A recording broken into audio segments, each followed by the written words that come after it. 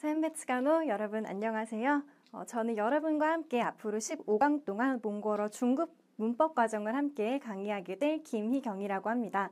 어, 문법이라고 하면 우리가 지레 겁을 먹게 되잖아요. 음, 어려울 것 같고 왠지 복잡할 것 같고 규칙을 몽땅 외워야 할 것 같은 그런 중압감이 좀 들기는 하는데요. 사실 몽골어는 교차어이기 때문에요. 저희가 동사의 어간의 다양한 접사를 연결해서 새로운 문법들을 학습해 나갈 수가 있어요. 그래서 비교적 저희가 뭐 영어를 학습할 때 배웠던 관계대명사라든지 저희가 어려웠던 부분들을 조금 더 쉽게 학습할 수 있는 장점이 있거든요. 그러니까 여러분도 너무 겁먹지 않고 잘 따라와 주셨으면 좋겠습니다.